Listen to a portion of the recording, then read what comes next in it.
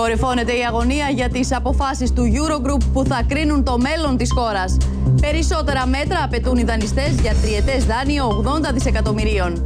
Έχουμε χάσει την εμπιστοσύνη στην ελληνική κυβέρνηση, λένε Σόιμπλε και Ντάισελμπλουμ. Ανασχηματισμός και στο βάθος εκλογές στο σχέδιο του Πρωθυπουργού μετά τις απώλειες στη χθεσινή ψηφοφορία. Τι θα γίνει με τους αντάρτες υπουργούς και βουλευτές; Στα μαχαίρια ο Αλέξης Τσίπρας με τη ζωή Κωνσταντοπούλου. Σάλλο με την απόδραση Βαρουφάκης στην Έγινα. Ο πρώην Υπουργός Οικονομικών μιλά στο Μέγκα για την απουσία του, τον Σόιμπλε και τη διαπραγμάτευση με τους δανειστές. Επιστρέφει άρον-άρον μετά την κατακραυγή και τα φαρμακερά σχόλια στο διαδίκτυο. Βαρύ πακέτο μέτρων πάνω από 13 δις σε τρία χρόνια καλείται να υλοποιήσει η κυβέρνηση.